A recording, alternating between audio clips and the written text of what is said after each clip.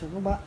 Sau đây mình xin hướng dẫn các bạn cách sửa một cái bệnh ừ, rất đơn giản nhưng mà nó là phổ cập ở ờ, các cái dòng máy photo của Xerox, nhất là dòng 3060 3065 tức là khi mình vì một lý do nào đó mất điện nguồn hay là do chập ổ điện ừ, chúng ta sửa được rồi, nhưng máy vẫn không lên nguồn điện.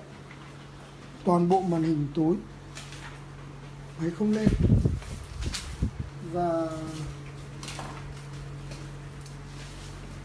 chúng ta bật cả hai công tắc cũng máy đều không có điện. Cũng có công tắc đây và công tắc đây. Đều máy đều không lên điện. Như đây, ta bật lại đây. Đều không có điện.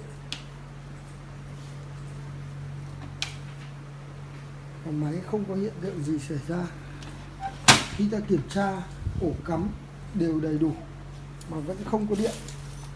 Nguyên nhân là do bị sốc điện để máy để bảo vệ bảo vệ máy.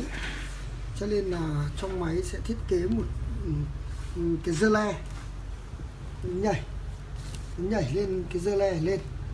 Thì chúng ta sử dụng cách ấn lại dơ le. Máy sẽ bắt đầu có điện trở lại.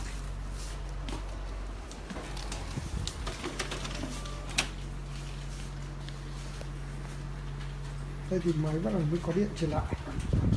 Đấy là một mẹo rất nhỏ.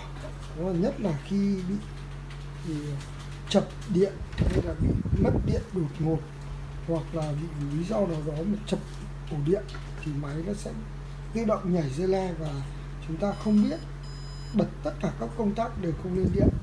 Chúng ta có thể ấn lại cái dây le đằng sau đít máy.